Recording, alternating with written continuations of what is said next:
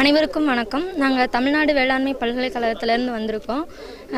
இன்னைக்கு வந்து உலக எய்ட்ஸ் ஒளி எய்ட்ஸ் விழிப்புணர்வு தினம் முன்னிட்டு கலெக்ட் பேரணி நடத்துகிறாங்க அங்கே கலெக்டர் ஆஃபீஸில் இருந்து இந்த துணை இயக்குனர் அலுவலகம் சுகாதார பணிகள் மற்றும் குடும்ப நலத்துறை கோயம்புத்தூர் வரைக்கும் வந்து பேரணி நடந்துட்டுருக்கு.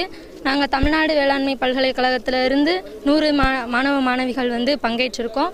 மற்ற மா பல் கல் பள்ளிகள் கல்லூரிகளில் இருந்தும் சுமார் நானூறுக்கு அதிகமான மாணவ மாணவிகள் வந்து இந்த பேரணியில் வந்து பங்கேற்றுட்ருக்காங்க நாங்கள் வர்ற வழியில் வந்து மக்களுக்கு வந்து எய்ட்ஸ் பற்றின விழிப்புணர்வை ஏற்படுத்துறதுக்காக துண்டு பிரச்சாரங்கள் எல்லாம் வந்து கொடுத்துட்ருக்கோம் இந்த